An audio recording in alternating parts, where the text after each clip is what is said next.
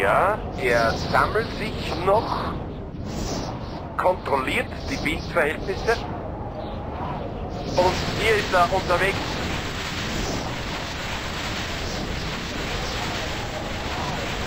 Absprung nicht ganz optimal.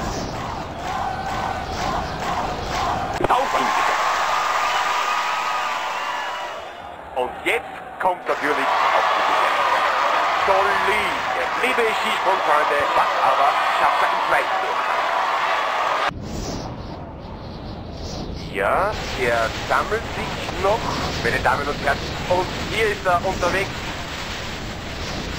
Gut weggekommen. Nicht ganz optimal. Und jetzt kommt natürlich.